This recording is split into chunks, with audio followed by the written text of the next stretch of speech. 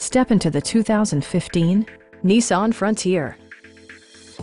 This four-door, four-passenger truck is ready to drive off the showroom floor. It features an automatic transmission, rear-wheel drive, and a 2.5-liter four-cylinder engine. Nissan prioritized comfort and style by including a tachometer, variably intermittent wipers, a rear step bumper, and more.